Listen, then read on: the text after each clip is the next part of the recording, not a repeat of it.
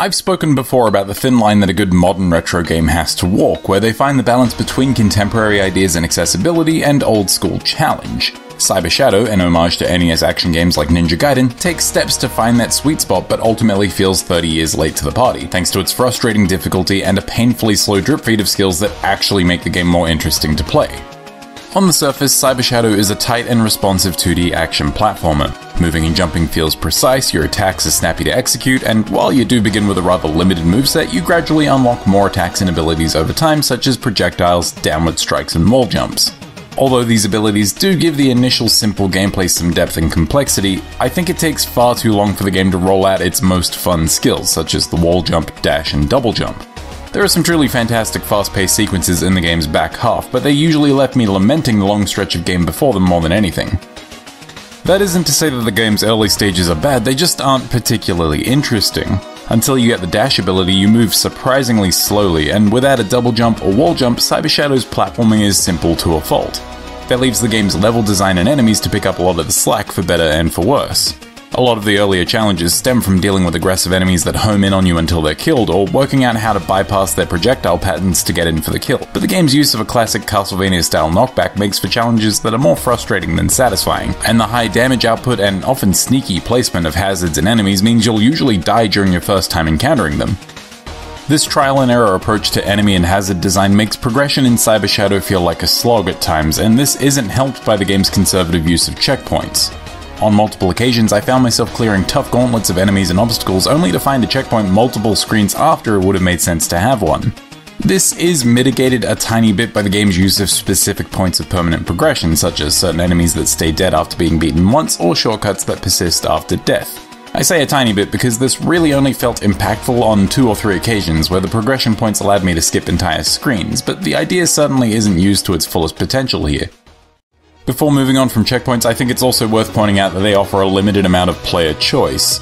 Using points that you accumulate via pickups, you can unlock features at each new checkpoint you visit, such as special meter refills and the use of specific power-ups when you respawn. And this is a cool idea that, in theory, lets you dictate the game's difficulty on the fly by enabling assists as you see fit. The problem here is that your special moves, such as the empowered downward strike and shuriken, aren't game-changingly powerful, and you're limited to the power-up that the game offers you at the time, some of which aren't really all that helpful.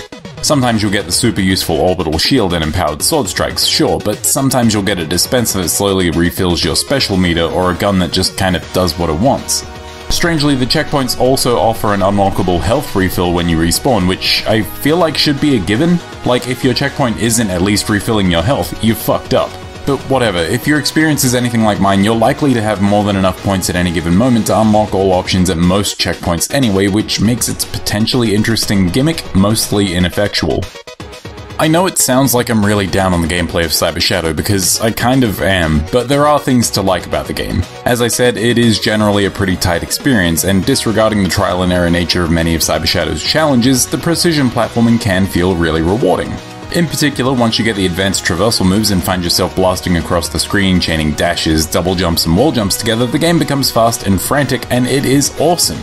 It's just a shame that the game makes you endure 3 or 4 hours of pretty okay Ninja Gaiden before giving you the coolest toys to play with. With that said, even the game's high points aren't without issue, as using the dash is the only time Cyber Shadow's controls didn't feel entirely responsive to me. Sometimes when double tapping a direction to initiate a dash, the game just wouldn't pick up on my inputs, leaving me strolling away from imminent death like a jerk. Beyond these brief glimpses of platforming excellence, Cyber Shadow also offers some exciting boss fights that will push your pattern recognition and bullet hell dodging skills to the limit. Plenty of them suffer from the same challenge issues as the rest of the game, such as trial and error design and high damage output, but they're much more palatable thanks to their close proximity to checkpoints. They can still feel unfair, don't get me wrong, but at least you aren't slogging your way through huge chunks of a level to regain lost progress here.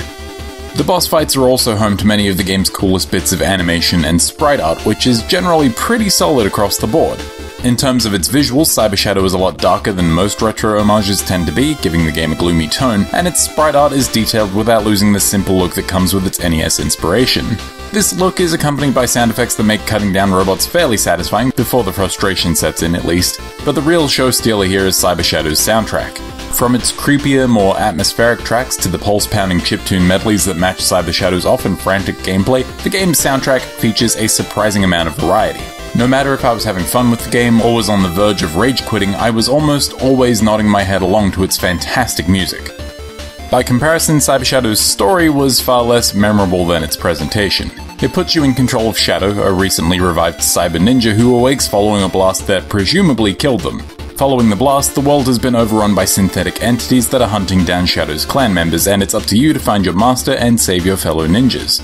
It's pretty generic, but the story also feels right at home in this NES style homage, and I did find the side stories and subplots told via computer logs and the remains of your clanmates to be more interesting than your typical old school video game fare, even if it does take itself far too seriously for my liking. At the end of the day, if all you want out of Cyber Shadow is a faithful NES experience with some but not all of the harsher edges sanded off, then the game won't disappoint. And if the game does sound appealing to you, it also offers a decent amount of replay value, with optional challenge sequences in areas that you can only reach with late game skills, usually offering health or special meter upgrades as a reward. But even without seeking out every little extra challenge in the game, Cyber Shadow can take around 7 to 8 hours to finish, which was more than enough for me. So with all that said, Cyber Shadow is mediocre. With lackluster checkpointing and a trial and error approach to enemy and level design, Cyber Shadow's generally tight gameplay comes off as more frustrating than satisfying. There is still a lot to like about the game, such as its late game abilities, solid sprite art, and excellent soundtrack, but for me at least, Cyber Shadow feels jarringly outdated. If that slavish devotion to old school challenge doesn't turn you off, then maybe give this one a look, but for others, I would recommend waiting for it to go on sale before checking it out. Cyber Shadow is available on Nintendo Switch, Xbox One, PS4, PS5, PC, and Mac.